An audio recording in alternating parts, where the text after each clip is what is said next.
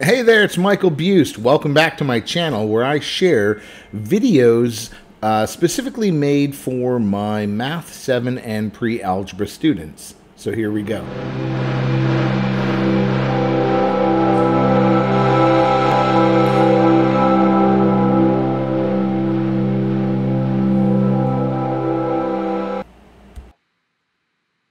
All right, everybody's favorite segment, Dath Jokes.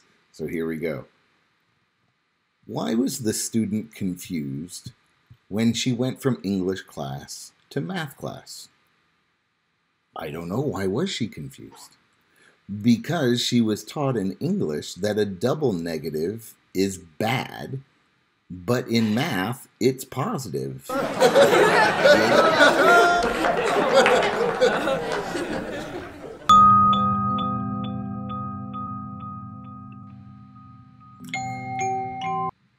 So in example one, we're trying to describe the relationship between the terms in this arithmetic sequence. So we have 8, 13, 18, and 23. And what we want to find out is what's being added each time to each of the terms. so we have 8 plus some number is 13. If I didn't know what that was, I could use the inverse operation and do 13 minus 8 is 5. So I now know that to go from 8 to 13, I'm adding 5 to that.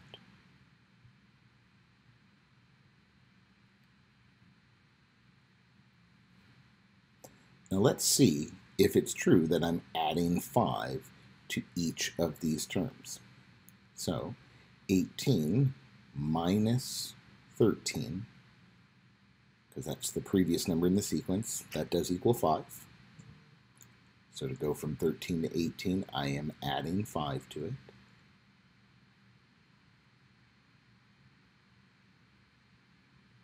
And then to go from 18 to 23, I'm also adding 5. So what that means is that my relationship is that I'm adding 5 each time. I can also write that as plus 5, means the same thing.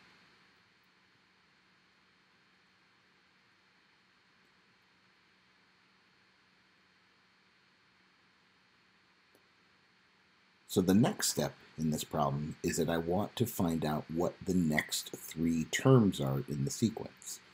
So I know I ended at 23, so I'm going to add 5 to that, and I get 28. I'm going to start at 28, add 5 to that, and I get 33.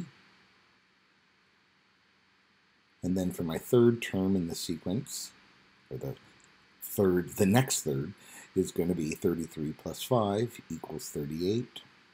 So the next three terms in the sequence are 28,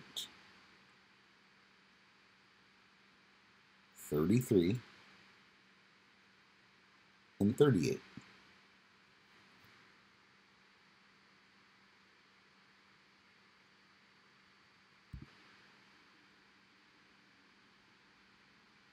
In example 2, we have the same type of problem. We're looking for some sort of arithmetic sequence, some number that's added each time to uh, the number in front of it to get the subsequent number. Um, so what I'm going to do is I'm going to take my second term, which was 0.6, and I'm going to subtract the first term from that. So 0.6 minus 0.4 is going to be 0.2. Let's see if this pattern continues. So I'm going to start at my third number in the sequence, and I'm going to subtract the second number from this in the sequence. And 0.8 minus 0.6 is 0.2. Let's try to see what would happen if I took that third sequence, 0.8, and added 0.2 instead of subtracting. So 0.8 plus 0.2 is going to be 1.0. So I now know that the relationship between the terms in the arithmetic sequence is to add 0.2. 0.2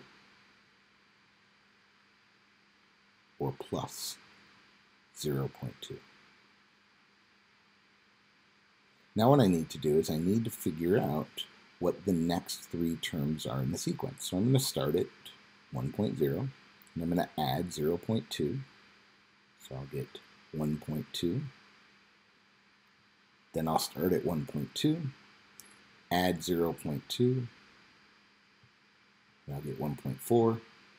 And then finally, start at 1.4 and add 0.2, and I'll get 1.6. Those are the next three numbers in this sequence. In example three, it says the green cards that Meredith makes are sold in boxes as a gift at a gift store. The first week she sells five boxes, and then each week after that, the store sells five more boxes, and this pattern is going to continue. What we want to find out is what's kind of the pattern that we're noticing, and how many boxes would she sell after one, the hundredth week. So I can think of the position of the number in the sequence as the number of weeks. The operation is going to be I'm going to take that number of weeks, so number week number one, and I'm going to multiply it by five because she's going to sell five boxes. In the second week, she's going to sell two times five boxes, so 10 boxes. In the third week, it'll be three times five boxes for 15 total boxes. Now, if I wanted to find out what any number of boxes sold for, sorry, the boxes sold for any number of weeks, I can think of the weeks as being n. I'm going to multiply n times 5, and I'm going to get 5n. So if I want to find out how many boxes are sold in the 100th week, I can think of it as 100 times 5, or 500.